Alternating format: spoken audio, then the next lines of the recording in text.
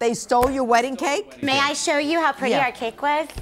They stole the entire bottom layer, which is the most expensive part of a cake. How do you steal the bottom of a wedding cake? Because it had been taken apart by our caterers to be cut and then oh, saved. they didn't just slip it out and the Oh, top they walked down. it out.